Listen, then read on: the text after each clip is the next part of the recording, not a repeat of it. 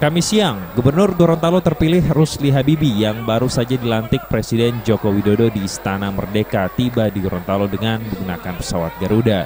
Rusli Habibi langsung mendapatkan sambutan meriah dari ratusan masa pendukung yang telah menunggunya sejak pagi. Setibanya di hadapan ratusan masa pendukung, Rusli bersama tim pemenangan yang ada di Gorontalo langsung menggelar sujud syukur sebagai bentuk ucapan terima kasih atas kepercayaan warga Gorontalo untuk lima tahun ke depan sebagai gubernur.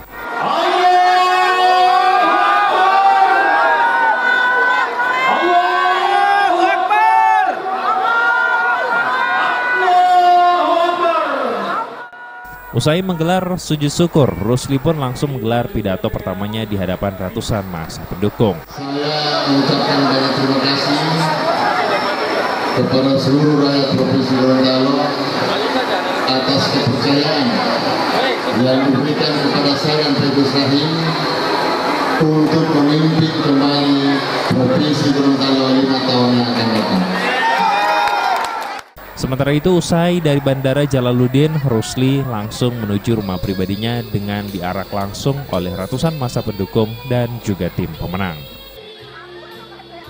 Fendrianto Ulango, Mimosa TV, mewartakan.